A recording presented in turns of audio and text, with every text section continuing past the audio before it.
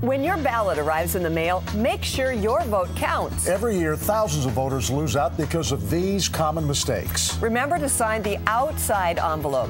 Read your entire ballot carefully, even the instructions, and read both sides. Be sure to mail it back before the election day deadline. And don't write in silly names like Bigfoot or Mickey Mouse that just waste money processing a vote that won't count. The primary election is August 7th. Join the home team and be an informed voter.